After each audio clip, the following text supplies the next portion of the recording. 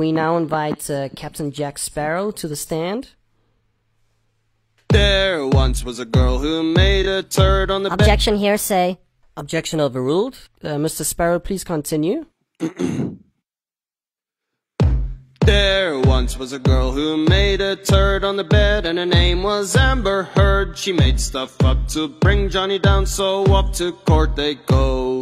Soon may the verdict come that Amber's lying out her bum. We'll drink a mega pints of rum when Johnny's free to go. If it wasn't enough to soil the bed, she cut off his finger and bashed his head on the door, and yet she still said she couldn't hurt him so.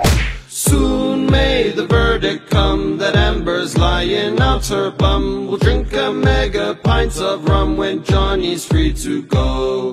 Objection, hearsay all day long. Amber's lawyers can find no wrong. Johnny hits the drink and a massive bong, but did he hit her though? No. Soon may the verdict come that Amber's lying out her bum. We'll drink a mega pint of rum when Johnny's free to go. Amber, in a desperate plea, told a very sad story of how her dog stepped on a bee. My dog stepped on a bee. Objection hearsay.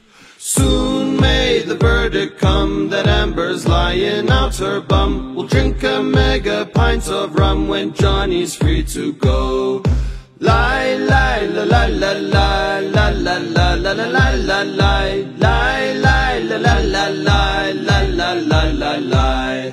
The moral of this weird story is don't marry a celebrity. I think that we can all agree it's a literal show.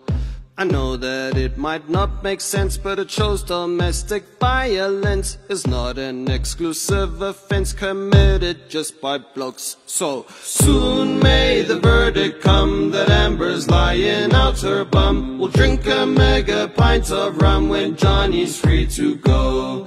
So who did lose and who did win? The jury's verdict has come in. To no surprise, it has always been the lawyers making dough. So now that the verdict's come, I think we all knew from day one that Amber lied straight out her bum, but Johnny's free to go. And the lawyers made their dough, and Amber put on quite the show.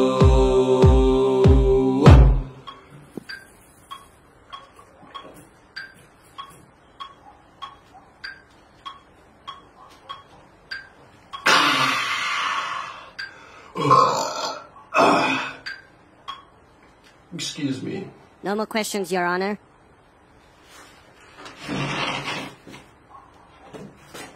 Uh, thank you, Mr. Sparrow.